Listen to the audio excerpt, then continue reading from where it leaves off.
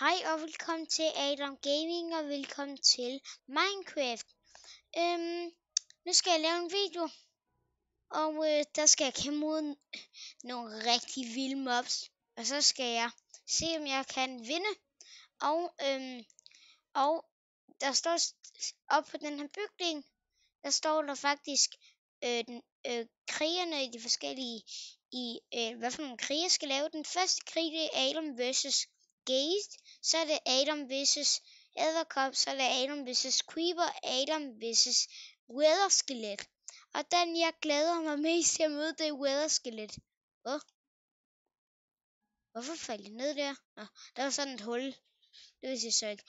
Fordi den er Weather Skelet, den er sindssyg. Men heldigvis så går det ikke på angreb på mig, fordi jeg er i, øhm, jeg er ikke i survival, men det bliver stadigvæk svært at møde dem. Og skal vi ikke bare starte med den første krig? Det er mod en gæst, og den er gigantisk.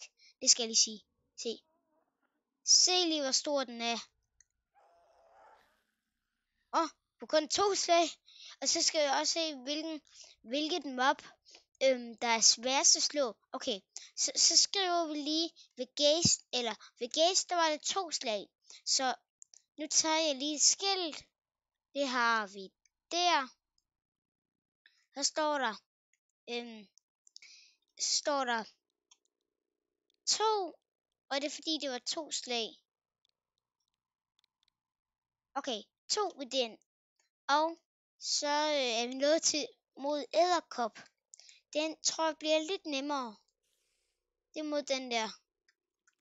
Og den er hurtig. L lad nu være din dumme æderkop.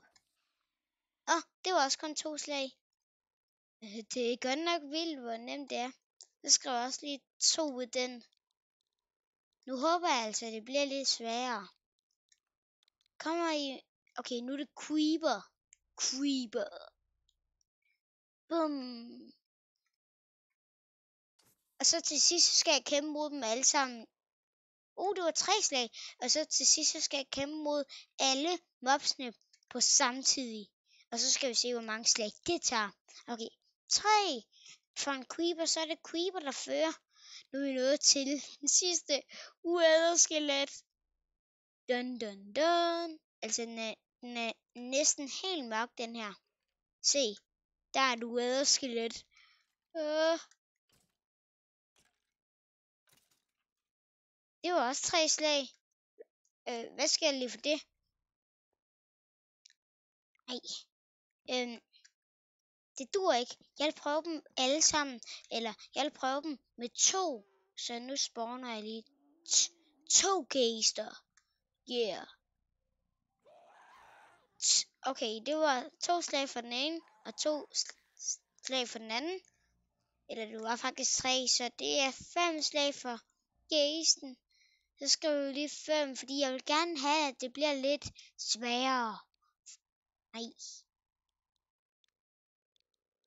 Jeg vil gerne have, at det bliver lidt sværere. Og øh, så er det mod æderkoppen. Den skal jeg have også lige to af. Så nu, nu sætter jeg lige to af dem. To på den. To. Okay, det var fire slag, så er det faktisk gæsten, der fører. Det er også fordi, den der gæsten er gigantisk. Øhm, ja. Så her der skriver vi lige fire. Ja, det kan godt være, at jeg synes, det er lidt en kedelig video, men på et tidspunkt så er mod Wales lidt igen igen. Så, øh, så er det mod Creeperen, den tager vi. Fordi den er lidt svag, så tager jeg faktisk lige tre af den. Okay. Uh. Øh. Det var tre. Det var seks. Uh. Uh, det var... Eller skal jeg ikke bare sige, at det, var, det gælder kun for to? Okay, så, så bliver det til seks. Åh, oh, det er creeperen, der fører. Eller de to creeper, der fører. Så er det den sidste, Adam vs. Weather og jeg undskylder meget, at jeg skrev det forkert med det der weather. Fordi på et tidspunkt så fandt jeg ud af, at det ikke var med H, det der weather. Ja, fordi der, det er faktisk W-I-T-H Øhm, der, det der E skulle heller ikke være der, det skulle være et I. Ja. Nå, nu er det mod weather Skal vi se, hvor hårdt det bliver med to af dem. Åh, oh, hvis jeg, hvis jeg bliver rørt af den, så bliver jeg... Hvorfor bliver jeg ikke giftet? Åh, oh, det bliver jeg så ikke. Tre for den. Uh. Hey, det andet weather det må ikke flygte. Hey, weather skal vi ikke være venner? Jeg har diamondsvær, du har øh, sådan et, øh, et ironsvær. Okay, det var så 6 øh, i alliance. Okay, så er det finalen, fordi øh, Creeperen og, og øh, Weatherskelettet var bedst, men de havde lige så lang tid. Så, øh, så nu skal vi simpelthen, nu sker der det, at jeg skal spille mod Creeperen og Weatherskelettet, altså fire. Dun, dun, dun, dun. Oh, han er højere end mig. Eh, okay. Tre for den. Det er seks. Det er 9. Det er... Det var 12 for dem begge to. Så skriver vi lige 12. Det kan vi lige skrive her ved finalen. Øhm, der skriver vi lige øh, A D Adam versus øh, så skriver vi lige. Øh, så går vi lige øh, så går vi sådan der. To øh, og så skriver vi lige. Nej nej. Creeper øhm, og så skriver jeg også lige. Og og så skriver vi lige selvfølgelig jo øhm, to øh, så lige W vi kommer til her nej og så er det I og så er det T og så er det Wither? Nej, det er sikkert med H. Vi, vi tager det med H.